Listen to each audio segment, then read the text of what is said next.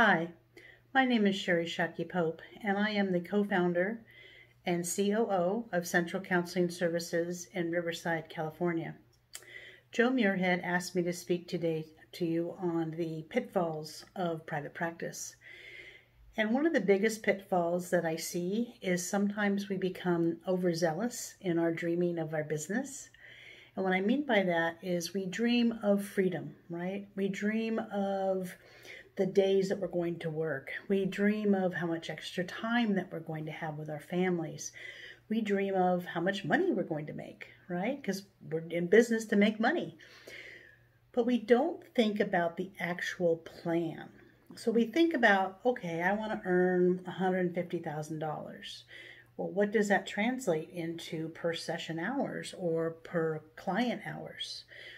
So if you take $150,000 and you divide it by 48, which would be the number of weeks that we work in a year, you end up with roughly $230 a session. Now, some places that's doable, other places it's not. But we have to plan ahead if that's the amount that you want to make. So there's lots of research that shows if we don't sit down and write a business plan, we don't know where we're going. It's sort of like driving your car and just getting on a road and hoping it goes to the place that you want to go. So, a business plan is a written document, but it's a live written document. And what I mean by live is that it changes, right? It changes as our dreams change.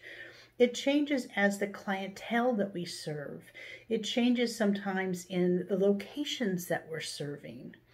And I'm I know that a lot of times people will say we have to make a vision, we have to make a mission, we have to and yes, those things are important and they're all part of the business plan, but we have to have that roadmap. Businesses who write things down and have a roadmap tend to succeed far better than businesses that haphazardly put things together. So take a moment and think about where you want to go with your business. What do the things that you want to do? Where are the features, the services that you want to provide, and who do you want to provide them to? And then write out that business plan. Look at it all the time. Look at it to make changes. Look at it to plan three months, six months, a year down the line. But use it as a document to help guide you, to help you move along your path. The second thing that I want to talk to you today about is having enough cash on hand. Cash is king. Cash will allow you to extend business. It'll allow you to add services. It'll allow you to pay yourself. It'll allow you to pay taxes and all those other kinds of things that we have to do. And the the problem is is that we underestimate often how much cash do we need to have on hand. So, for example, in my business, we have insurance, we have some private pay, but most of our business is it's dependent upon insurance. So we have to plan to have 60 to 90 days of cash flow so that we can meet our bills every month. Now, in my practice, we have about 30 people that we employ, various people uh, for various jobs. Um, but our, our payroll is close to $100,000 a year, a month. So the idea for me is I have to keep enough cash on hand. Now my payroll was not that when I first started. When I first started, we barely had maybe $3,000 in payroll per month. And we had to bootstrap things together, which I know many of you are already doing. But there needs to be a chunk of cash because COVID happened because a flood happened.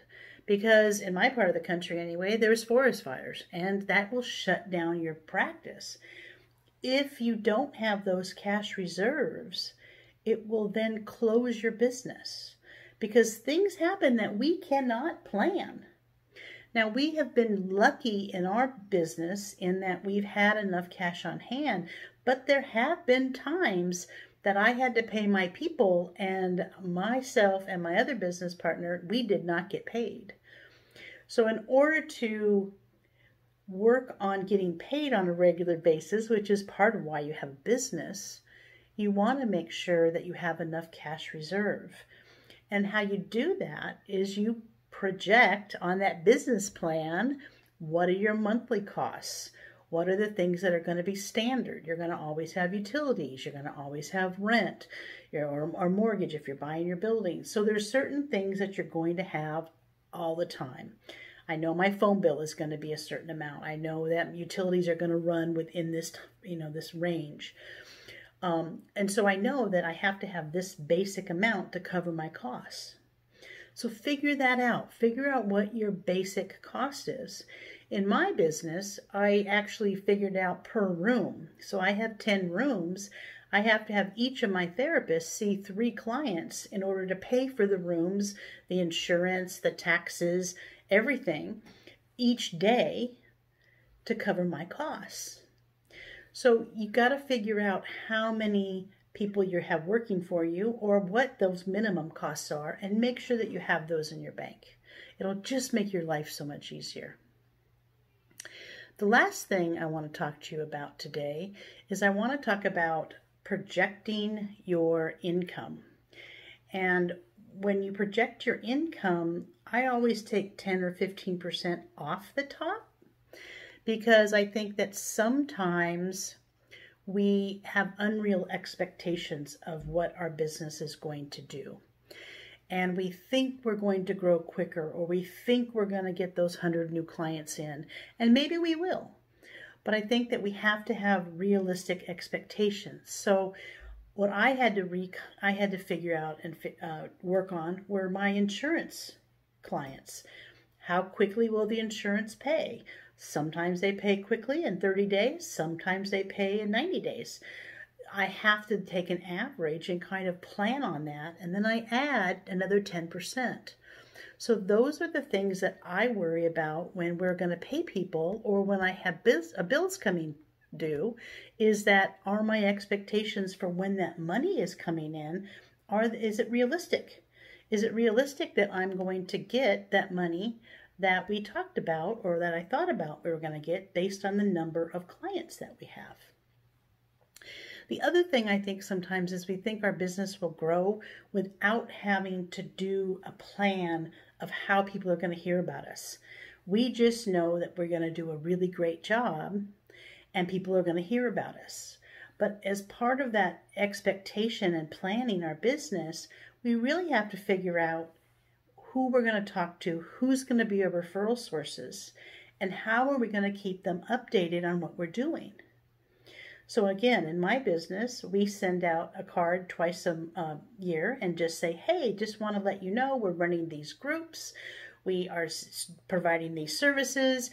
If there's anything we can do, please let us know. We'd love to work with you in conjunction with whatever it is that you're doing.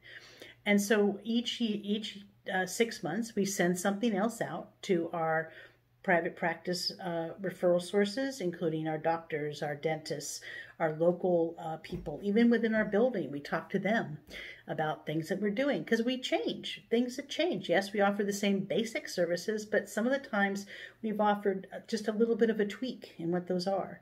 But we have to let those people know and we have to be realistic in how many referrals that we're going to get in. So it's sometimes difficult to have the proper expectations that we need, but we have to change those. And that's why if we have that business plan that I keep harping about, um, we can go in and go, okay, these need to be switched. This needs to be checked. Here's the things that we can do for that. And then we can go along that plan. So I hope that that's helpful for you. Um, you can get free business plan outlines uh, from SCORE, and you can just start working on your plan and where your business is going to go. And if you need anything help on that, give me a call or I'll put my information down there. All right. Take care. Bye.